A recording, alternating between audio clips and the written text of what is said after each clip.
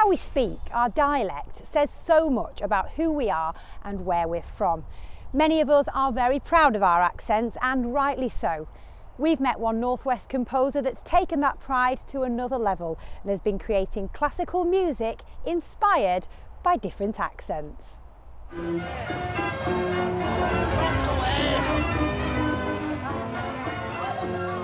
It's Fleetwood's annual Transport Festival, but John McHugh isn't here for the spectacle of what locals call Tram Day. He's here to get a feel for the coastal town and its people. His latest piece of work will be based on the Fleetwood accent. The idea is that we're going to explore the heritage of Fleetwood from, from the sound of the voice, from the melodies and the intonations in the voice. Well, you won't find me with a Fleetwood accent I spend most of my time abroad. So you, you would know a lot about the fishing community? Yes, all my family were fishing oh, community. Oh, really? How we speak reveals everything about who we are. If you look at the melody and the way people speak, everything's locked within there. All the family history, immigration, all the industry, all the work, songs, all the stories. So what we're going to try and do over a good few months is try and, try and capture that, try and capture the, the whole voice of, of the Fleetwood, Fleetwood people. Fleetwood is famous for its once booming fishing industry and plenty of people remember when the harbour was full of boats.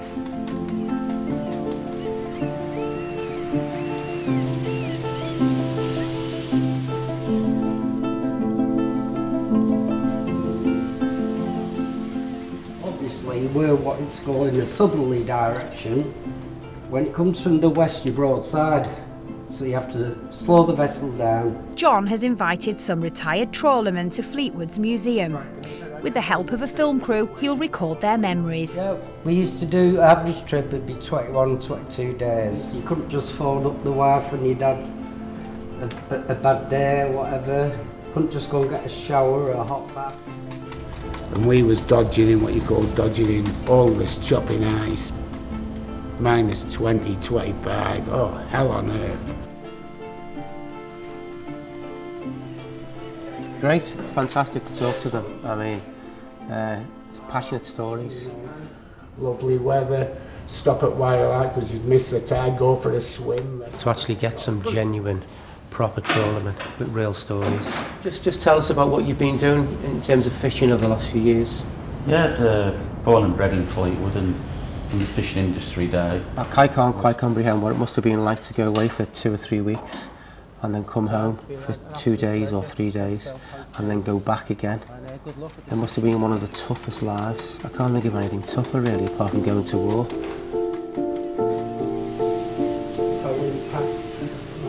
Whales or just, just things what you used to see and think, oh, if I was stuck at Back home in Liverpool, John has hours of footage to go through. so, so happy. That's lovely. You were just so, so happy. You were just so, so happy. I write down the important quotes and the themes that come out. Themes could be anything, could be about the weather, could be about the hardship.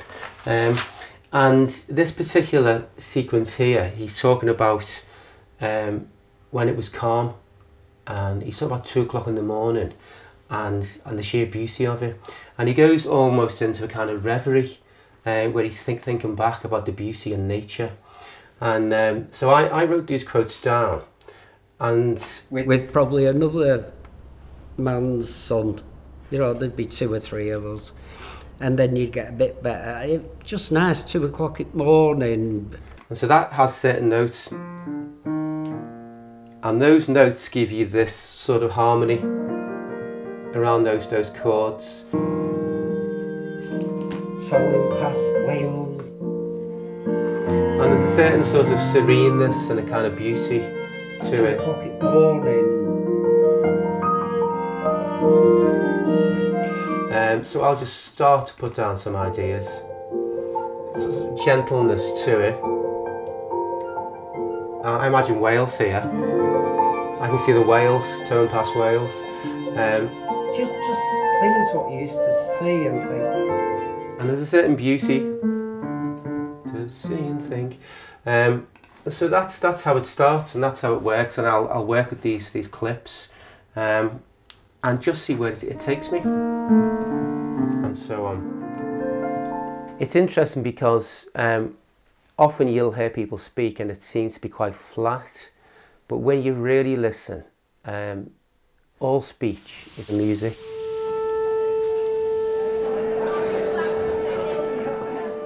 After months of hard work, it's time for the performance in Fleetwood's Marine Hall. John has booked the very best. He's asked musicians from the Royal Liverpool Philharmonic Orchestra to perform the piece. You're always nervous, um, but I'm feeling quietly confident. Quietly confident. Just looking forward to getting getting on with it now on the project. I just hope that the people of Fleetwood that they just like it, and I hope I hope they go away feeling happier, and I'm proud of their town. Everyone's here, including Brian Houghton, the trawlerman who inspired one of the movements. Just things what you used to see and think,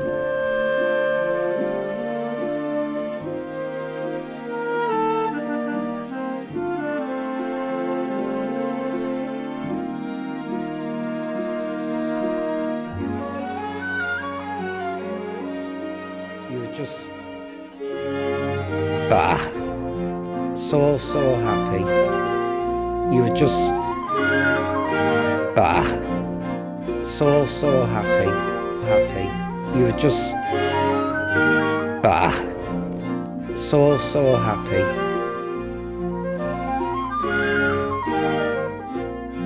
So so happy happy. Two o'clock in the morning towing past whales. Two o'clock in the morning.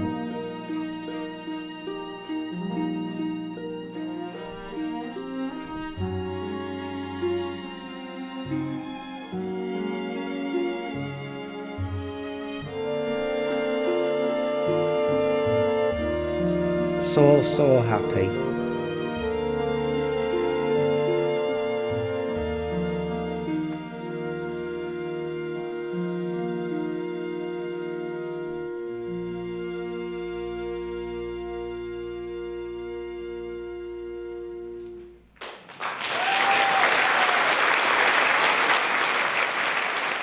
It's just really, really well done.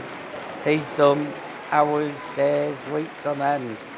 You can see he's put his heart and soul into that. And, well, the standing ovation, what they got at the end, says it all, doesn't it? The reaction was absolutely incredible because you don't really think about the reaction, you're just focused on, on performing the piece, and there's so much to think about. Um, so as soon as you finish those final notes, you take your headphones off, and there's always a moment's silence, and then you wait, we wait for the applause, and the applause is just phenomenal. I couldn't, couldn't believe it. I couldn't have asked for more.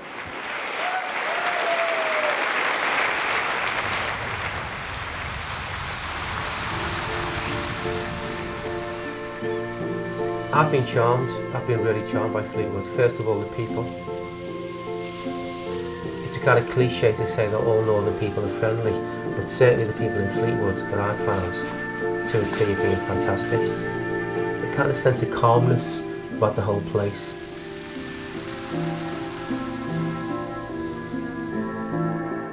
I can't help but dream, and it, to me, there's a sense of magic in, in the air.